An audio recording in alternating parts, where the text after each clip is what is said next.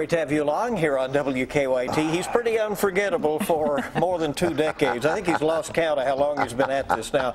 This uh-huh. caricature of a veteran comedian, James Gregory, has stood there grinning and kind of dresses the way he dresses. You I know, look at this. The one and only. You know, he and is I- here. you know what? I just made a mistake today. Usually I'll wear a red hat. Yeah. See, the red hat would have matched this.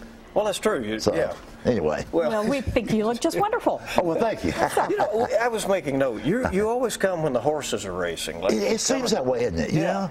I always come Derby week, Yeah. and I, I love being here. No matter when I come to Lexington, I love being here. Yeah. But every time I show up, there's some kind of horse event going on. I wish that when I came to Lexington, you'd have something going on with pro wrestling.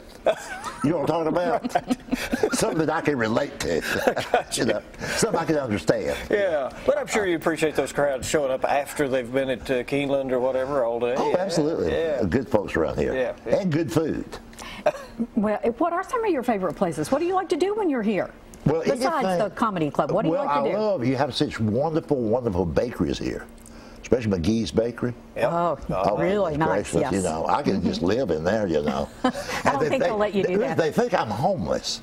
Yeah. Well, you go on, you know, like, see, I've, I've bought what I wanted, you know, and I, I like to watch other people and see what they're gonna get, you know. So, For the you next said, time in. You said, uh, you know, the weather isn't cooperating with, uh, you, you kind of like to have a cigar. well, yeah, you're know, around. I'm a cigar smoker, and I like to smoke at least one a day, you know. So, and I don't smoke in the car, and I'm at a hotel that's non-smoking. So I usually go outside, and now it's rainy and cold. So it's God's way of making sure I don't smoke. that's how come we got bad of it. weather right now. Got to work out that way. That will take yeah, care of yeah. it. Uh, Speaking of bad weather, you were telling us. I mean, you had a rough road uh, back here when it uh, when that snow Well, yeah, came that to big ice storm that, you know, like, what was that, about a year, year and a half ago Yeah. when it was? You know, the whole city was shut down. Yeah. I was involved in that. yeah. Really? Oh, yeah. I had gone, I was at the Emory Hospital, you know, just visiting people, because as you know, I never get sick. Okay, just I was cheering vi- people I was right? visiting other people, you know. And because the reason I don't never get sick is because I eat right. Yeah. You know. But, Sure, of, of course. And one the of the- cigars I'm help not a one of those too. organic, healthy people. You know? I mean, uh, I was a grown man before I realized that gravy was not a beverage. You know. But I was leaving the hospital because I had been visiting people. And I left there at 1 o'clock in the afternoon. And my home is only 35 miles from there. It's on the north side. Oh, at 1 o'clock in the afternoon, I finally got home at 6.30 the next morning. Wow. Wow. So just trapped on that interstate on the ice. That's you know, really scary. Almost a day and a half. Would you just know, tell yourself so- jokes or what? Well, here what was frustrating. No cigar with me. right. So I thought I'd be back in an hour or two, you know.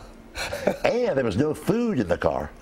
you know, so. Rough time. But other than that, though, I was just, uh, anytime we go through something like that, at the end result is, the bright side is that, you know, I got through it. You know. got it. You got it. It's just, it's great being above ground and breathing no matter where you are. We kind of forget that sometimes. We do. Right. And We we're always glad complain about bad Lexington for traffic, you know, but look at this. I can participate in this bad traffic. You know, I'm still alive. The great James Gregory, everybody, tonight and Saturday night, 7:15 and 9:45 at Comedy Off Broadway. Thanks for coming. Well, thank you. Good to see you. As You you both look say. great as usual. Appreciate Thank you. that. Thank you, sir.